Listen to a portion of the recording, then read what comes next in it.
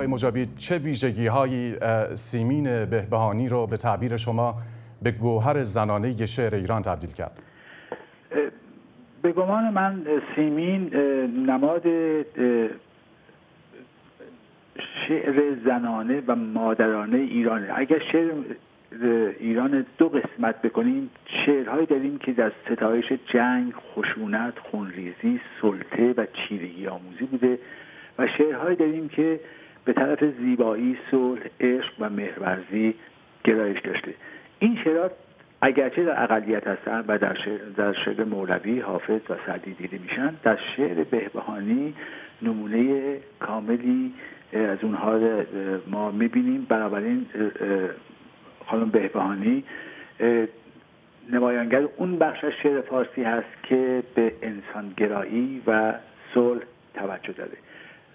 خانم بهبانی در به عنوان یک شاعر بزرگ و به عنوان یک روشنفکر مطرح است. شاعر بزرگ به این معنا که اگرچه از غزل استفاده کرده از فرم غزل ولی تمام اون ظرفیت های فرهنگی که یک شاعر مدرن امروزی داره ایشان از طریق فرم غزل توانسته اون معانی و مفاهیم رو تجلی ببخشه. هنری که خانم بهبانی در غزل به کار برد علاوه بر ایجاد وزنهای جدید ترکیب قطعه و غزل هست. قطعه در کل تاریخ ادبی ما زند... شعر زندگی نامه ای بوده و به زندگی روزانه هنرمند مربوط می شده غزل به کلیات عاشقانه و سیمین با تلفیق این دوتا توانست یک شعر زندگی نامه ای پدید بیاره و در واقع یکی از مشخصات اصلی شعر امروز ماست شعری است که هم از زندگی و سرگذشت شاعر بگه هم از سرنوشت ملی بگه و در این زمینه خانم بهبهانی نمونه عالی است. آقای آذر مایلم در مورد نوآوری ها و ابداعات خانم بهبهانی آنچه که آقای مجابی هم اشاره کردن در خلق وزنهای جدید در شعر کلاسیک برای ما بگید. ضمن که جایگاه او رو در شعر ایران به ما نشون می‌دید.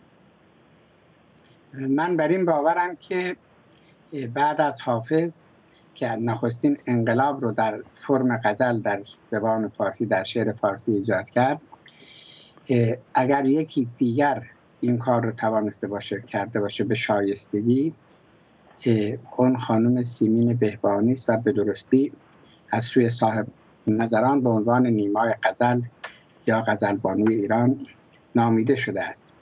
اما این انقلاب در غزل چیست؟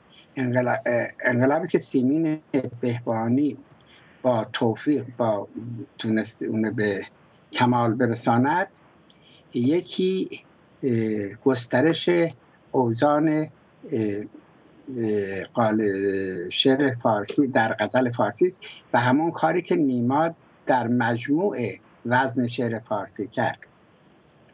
و گوشای میدان بازتری ایجاد کرد برای اینکه بتواند هر چی بیشتر زبان شعر را همان گونه که نیما هم در نظرگاه های توریکش بیان کرده است هرچی بیشتری زبان شعر نزدیک بشود به زبان طبیعی زبان محاوره.